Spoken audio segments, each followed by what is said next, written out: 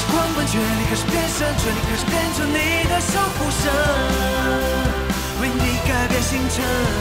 权力开始奋战，权力开始瞄准，权力开始拯救我深爱的人，为你奋不顾身。我早已把谜底看透，不需现在要为你去战斗，守护着你全力出击的那个我，听取挣脱缠绕灵魂的枷锁。我不要圣洁的爱，是种无奈，带着愤怒让黑暗不复存在，激发无限的力量，就冲破困境，用神力我把邪神力都击败。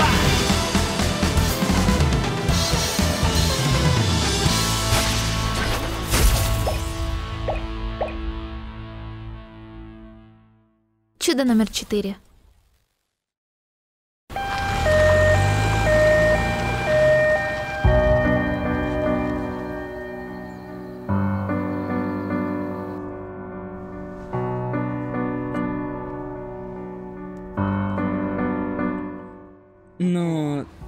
Ты можешь попасть под прицел Бата, раз уж ты так долго был вместе с Тянь.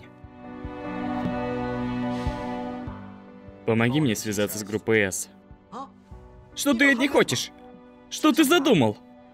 Мне нужна от них помощь. Нет. Они следят за мной. Я ненавижу их. И ты всегда дубасишь меня. Тебя я тоже ненавижу. Ты говорил, что собратья должны помогать друг другу. В этот раз я буду тебе должен.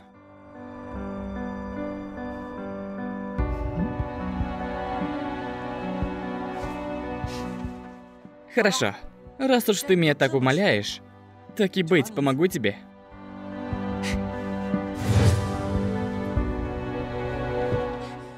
Наконец-то ты вернулся.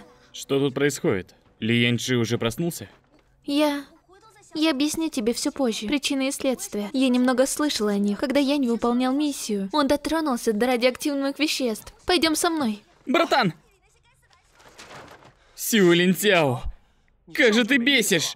Я звонил тебе, чтобы ты не дал увезти Тянь в больницу. Было бы нормально, если бы ты еще не успел. Но ты тут просто смотришь тупую дораму вместо того, чтобы перехватить скорую. Не маячь перед экраном. Но Тянь нельзя попадать в больницу, или случится большая беда. До того, как прийти сюда и устроить хаос, не догадался зайти в соседнюю дверь и все проверить?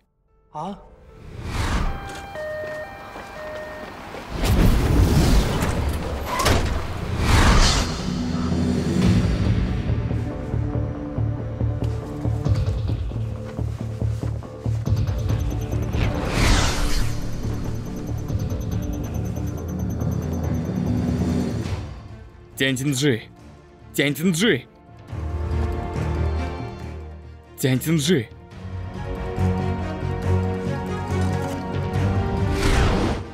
Сюда, скорее! Почему дверь закрыта?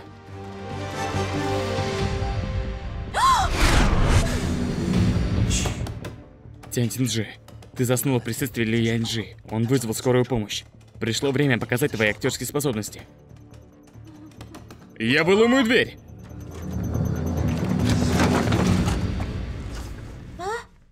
Янь, ты еще не ушел? Тебе точно не нужно больницу? Я сказала, что все хорошо. Я проснулась быстро, да? Это все потому, что я в последнее время плохо спала и у меня анемия. Но Фэн Дун Дун сказал, что с тобой это часто происходит. Ох уж этот фандундун.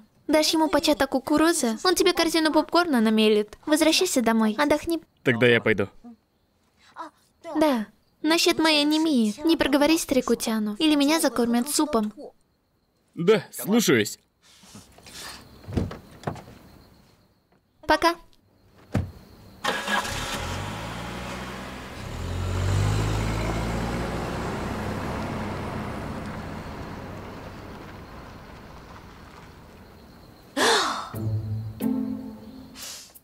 Фандун-дун, ты как призрак. Почему ты там прячешься?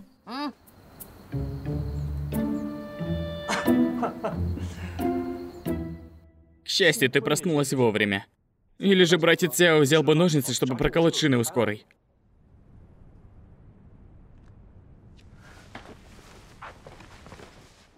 Мисс Тянь, я же все хорошо пересказал, не так ли? Для женщины-звезды найти такого умного и услужливого помощника – это очень сложно. Как насчет моей зарплаты, может... Это ты проболтался демону Сея, что я беременна?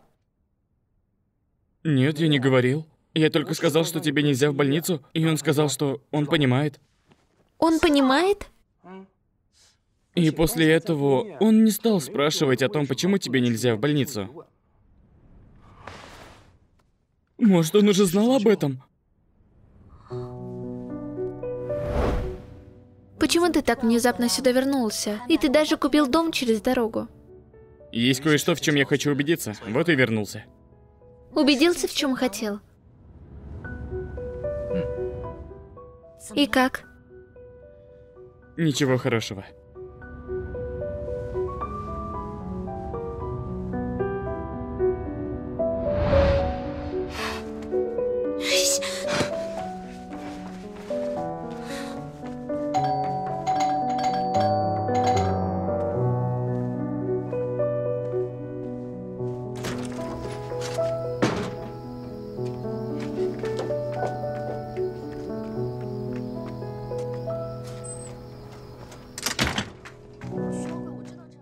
Ты голодна?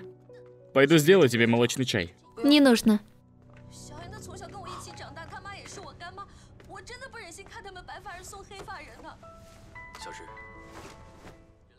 Снова дорамы смотришь?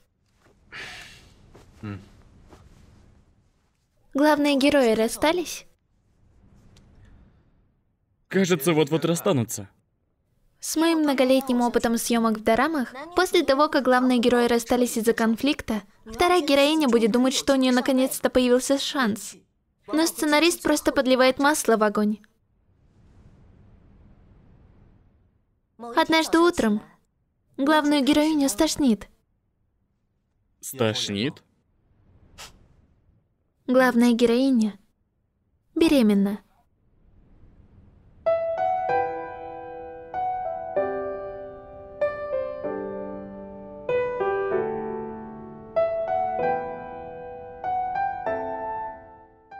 Я всегда думала, что сценаристы очень глупы. Это история о любви. Но в конце они снова вместе из-за ребенка. Расставание непреодолимо. Они все еще любят друг друга. Разве? Если бы не было ребенка, они бы могли не встретиться до самой смерти. Нет. Кто-то бы не умер. Он просто изменил бы внешность и продолжил влюбляться снова. Тянь Цинджи. Хоть я и вернулся из-за твоей беременности. Если бы не сегодняшний случай, как долго ты собиралась скрывать это от меня?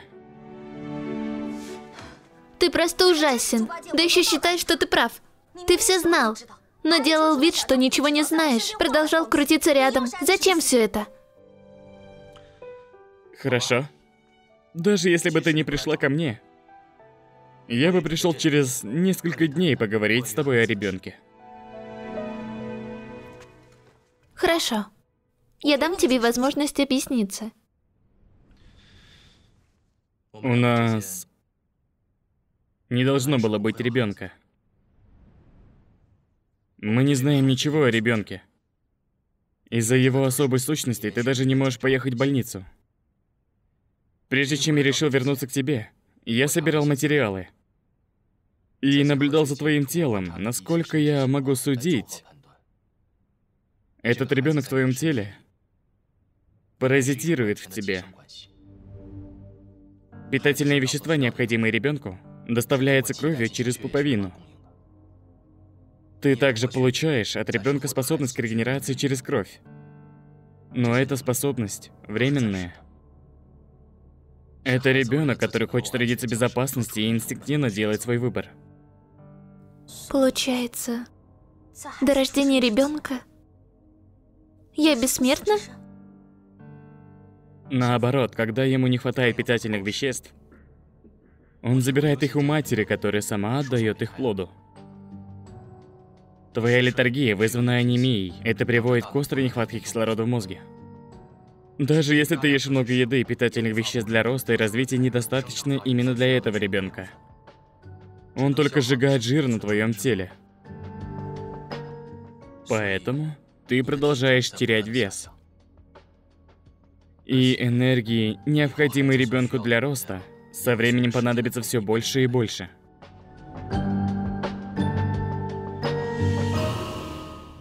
Хорошо. Хватит ходить вокруг да около. Что ты предлагаешь?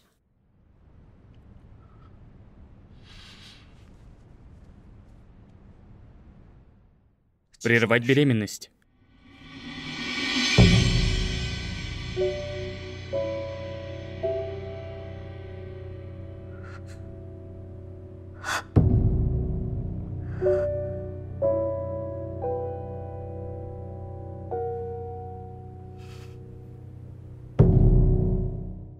Это на основании твоих беспочвенных спекуляций. И необоснованных предложений? Ты один, что ли? Решаешь, сохранять ребенка или нет? Тянь Цинджи, это не беспочвенные предположения. Его предстоящее рождение пугает нас обоих. Это было давно, когда я еще могла тебя напугать. Прости. Ты знаешь ситуацию? Мы уже расстались. Это мое дело, а не твое. Сохранить ребенка или нет, решаю только я. Тянь, у тебя чистое сердце в сравнении с моим. Я не пытаюсь тебя обидеть. Я не хочу слушать.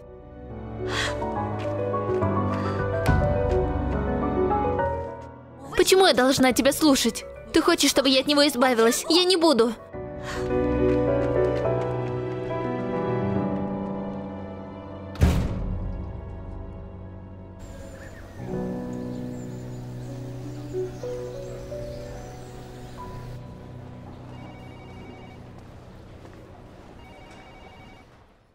Здравствуйте. Я пришел забрать почту для дома 21. Хорошо, одну минуту. Да. Соседка из дома 22 попросила меня захватить ее почту.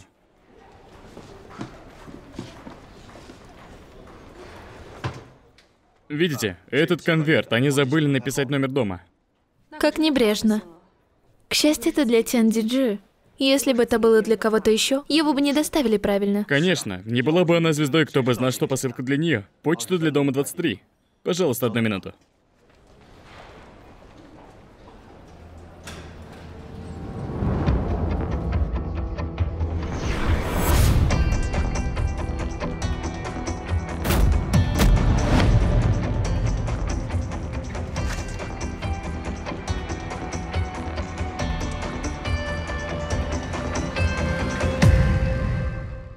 Ты снова поменял свой почтовый адрес.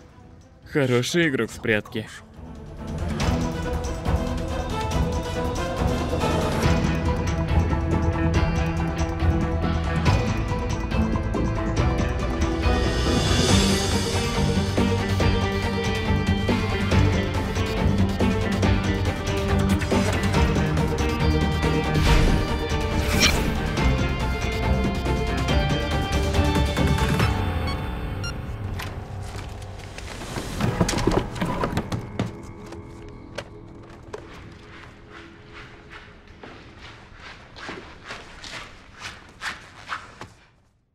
Отдай мне мою почту. Какую почту? Мне сказали, что ты забрал мою почту. Где она? Здесь нет твоей почты. Ты... Хорошо. Я отстану от тебя. Только если ты скажешь мне, кто прислал мне почту.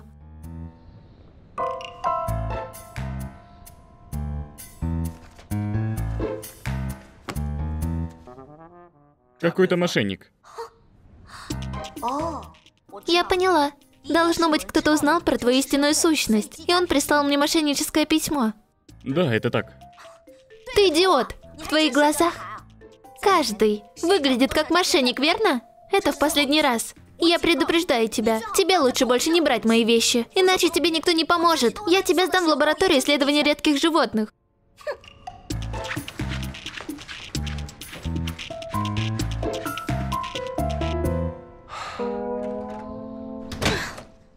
Этот молодящийся монстр династии Мин? Самый умный, что ли? Ты же явно просто уличный хулиган.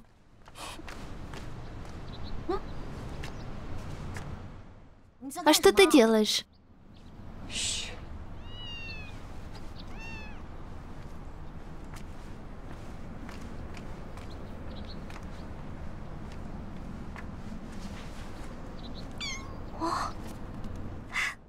Какой котеночек. Милашка. Похоже, ему слишком жарко. Вот котенок и залез под машину ради прохлады. Мяу.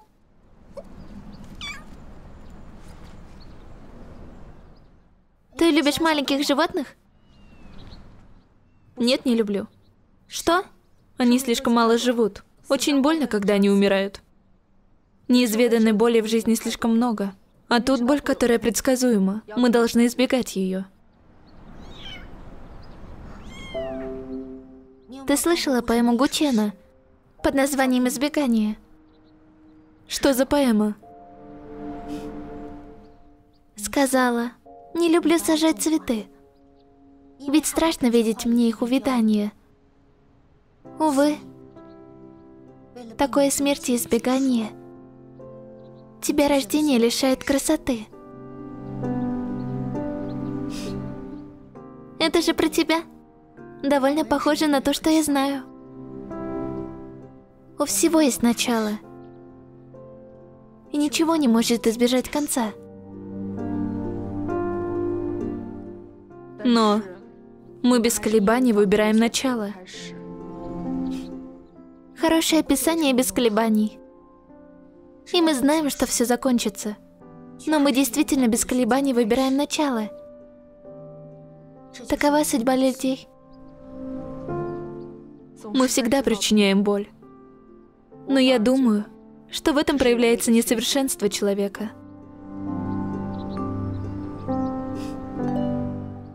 Возможно. Поболтаем позже.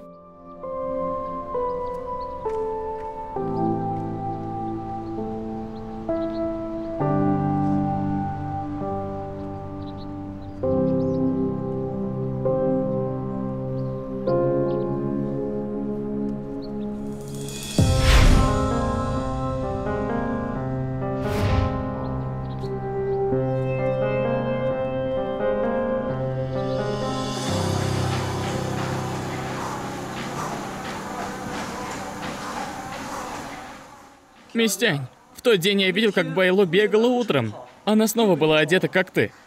И что это значит? У женщин с одинаковым вкусом в одежде одинаковый вкус на мужчин. И что это значит? А ты не думаешь, что Байло тоже влюбится в братца Цяо? Почему ты сказал тоже? Кто еще его любит? Он что, ангел любви? Поселился напротив дома своей бывшей. Должно быть, насмотрелся всяких дарам. Кроме того, тебя это каким боком касается? Вроде как оно меня не касается, но так как это касается Мистянь, то и меня затронуть может. Я решил, что кем бы ни стала Мистянь, моя работа — хорошо служить Мистянь. Хватит. О прибавке к зарплате ни слова. Ты что, не видишь? Я сама сейчас без работы.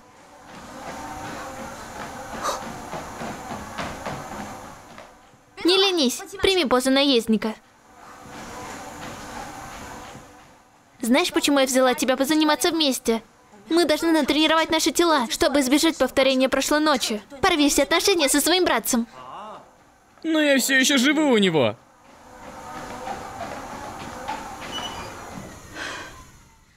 Ассистент Фэн, твой братан-сосед с тебя арендную плату берет?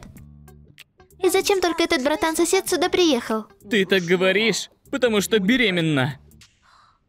Ну, конечно. Все из-за меня. Итак, твой братан-сосед аренду с тебя не берет. Это же то же самое, как если бы я тебе подняла зарплату. Нет, Мистянь. Так как я переехал жить по соседству, часть моей работы увеличились. Теперь я вообще пошу без выходных. Мистянь! Мистянь! Здравствуйте, господин. Если вам нужна экспресс-доставка, вы можете заказать ее напрямую по телефону.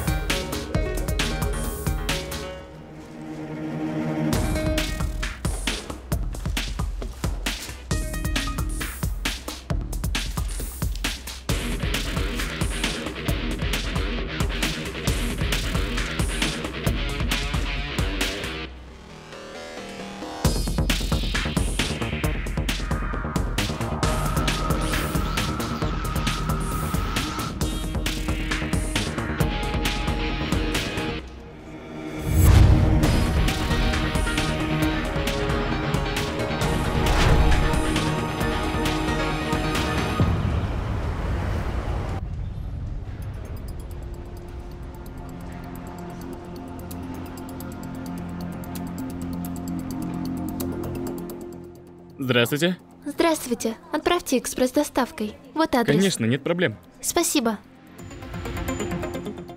Хоть я нашел два разных места, откуда уходили письма с угрозами, но все почтовые накладные явно взяты со стойки регистрации. Следовательно, номер накладной должен соответствовать тем, что лежат здесь.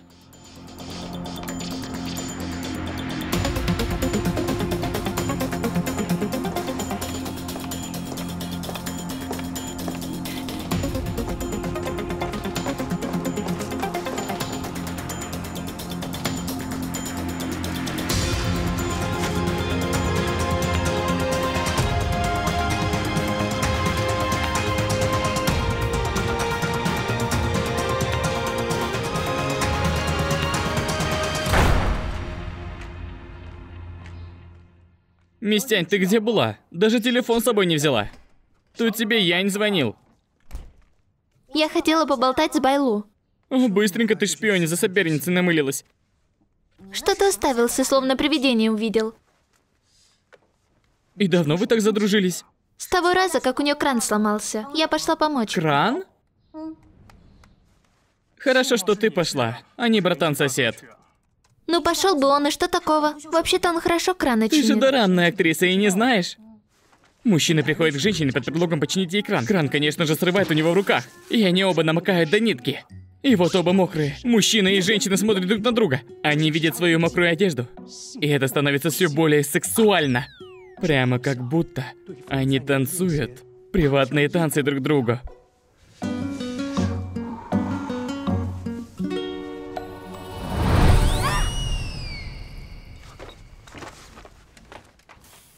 Тут, что? Клапан никак не закрывается.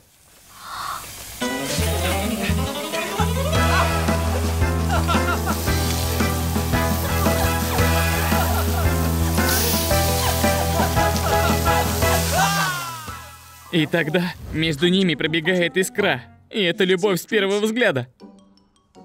Ты что заливаешь? Разве я такое не играла? Это же у главной героини, так?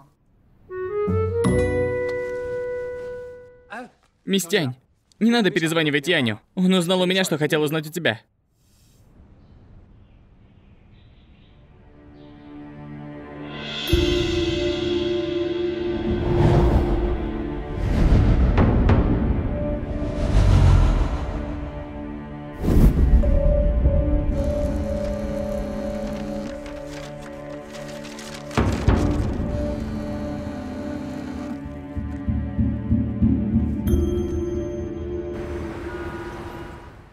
Хоть у меня и нет твоих способностей, но не стоит недооценивать возможности полиции. Актерские способности Тянь Цинджи не сильно прогрессируют. Знаешь, почему я настоял, чтобы Сяо Джи не отправили в больницу? Потому что ты знаешь, что пока я здесь, ее здоровье не является проблемой. В конце концов, и твою неизлечимую болезнь исцелила моя кровь.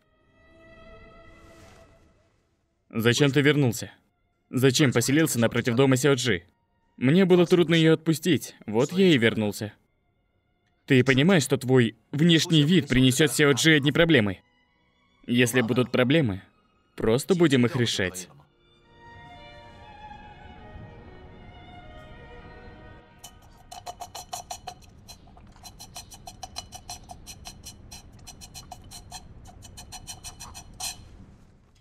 Я не просил у тебя новый номер телефона братана-соседа. И ты ему сказал? Но он же уже и так нашел брата Сюэ. Он бы и номер узнал, даже если бы я не сказал. Братца Сюэ? Брата-соседа. Мистянь, ты слишком быстро его переименовала. Ты же сказала, что вы будете просто друзьями, даже если он вернулся только ради ребенка. По большому счету, это не имеет значения. Как это может не иметь значения? Чтобы подружиться, нужно учитывать личные качества человека. Он намеренно от меня скрывал. Но ведь и ты ему ничего не говорила, вела себя так же. Вела себя так же. Все, что я делала, была ложь во спасение. Мистянь, а ты... А ты не хочешь снова быть вместе с братцем Сюэ? Помощник Фэн, следи за словами. Воссоединитесь! Заткнись! Дай мне стакан сока питахаи, и чтоб без семян. А сама-то сдаваться не собиралась. Даже имя придумала, Сюэ любит тянь.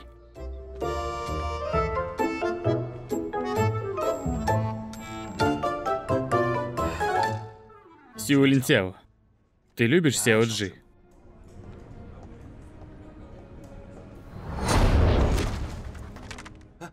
Простите, все в порядке. Я сам.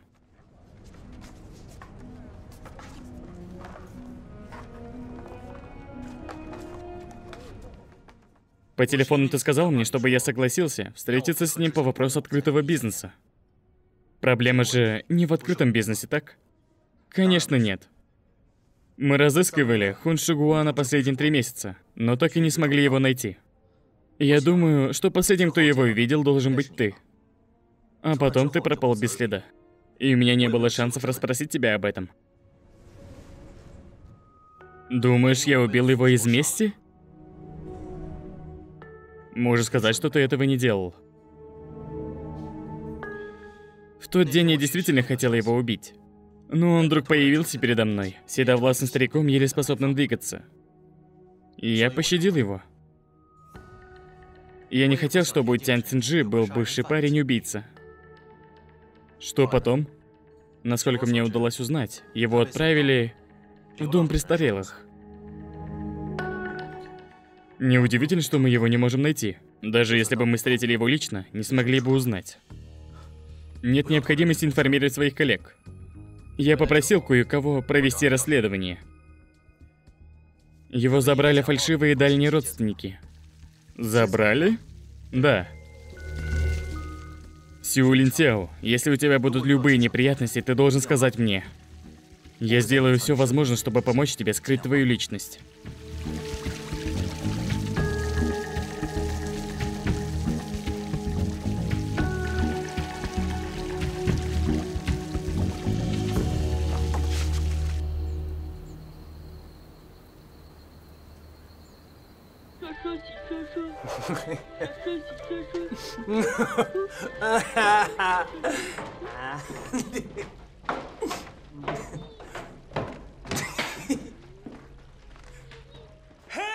Братец Сюэ!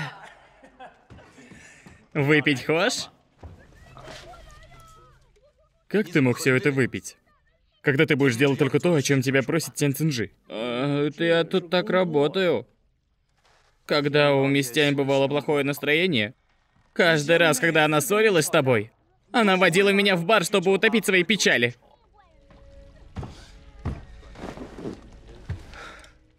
А теперь такой способ утопить печаль отобрал маленький демон в ее животе. Она теперь совсем не может напиться. Поэтому и заставила меня напиться за нее.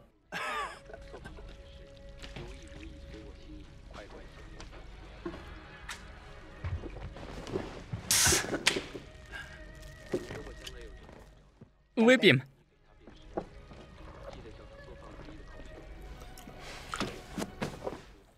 Ну, братец Сила, не хандри.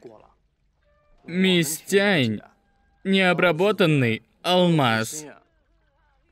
Вот бы ты ее уговорил. В этот раз я не могу это сделать. Что? Почему? Ей теперь не так-то просто найти новую работу.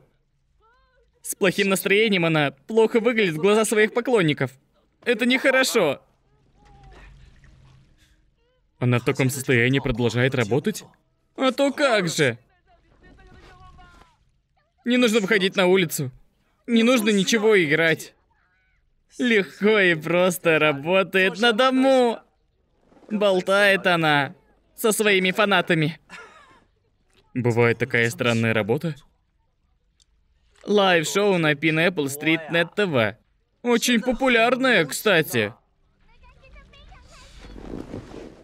В любом случае, пожалуйста, восстановите ваши отношения поскорее. Выпьем.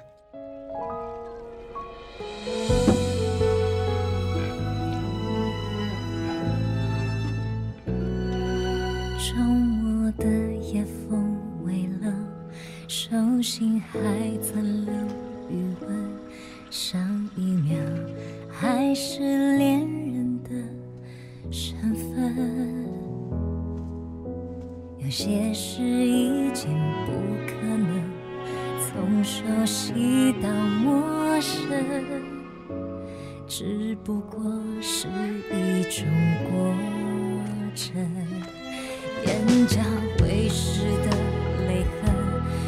抱紧藏不住心疼寂寞冰疼下手毫无分寸一个人静的只剩下心跳声那稀薄的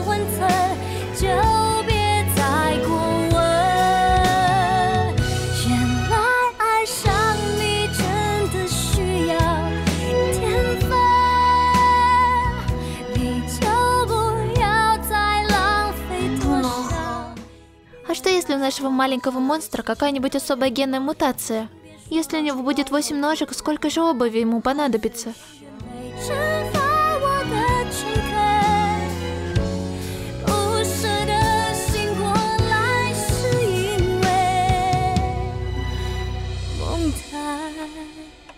安稳。